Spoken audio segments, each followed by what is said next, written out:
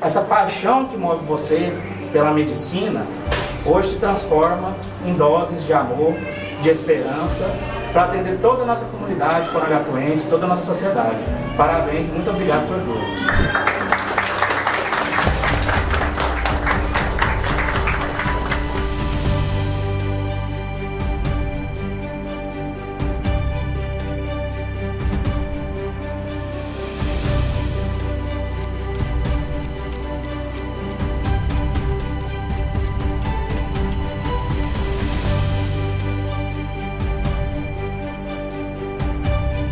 Uma clínica dessa, com excelência, com produtos de qualidade, eu tenho certeza disso, para atender toda a nossa cidade, isso só nos deixa muito e muito e muito feliz e agradecido por você estar investindo. Então isso para a gente, para como cidadão porangatuense, é extraordinário. Então nós somos a primeira clínica de vacinação domiciliar né, de Porangatu, né, então nós vamos até o seu lar, trazendo toda essa qualidade com equipe extremamente competente, né? Nós temos a enfermeira Andréia, a Marina, a Débora também, né? Então eu só tenho a agradecer a Andréia por estar ao meu lado o tempo todo, por ter me dado todo o apoio e incentivo para que a gente chegasse até aqui e pudesse trazer essa oportunidade para Porangatu.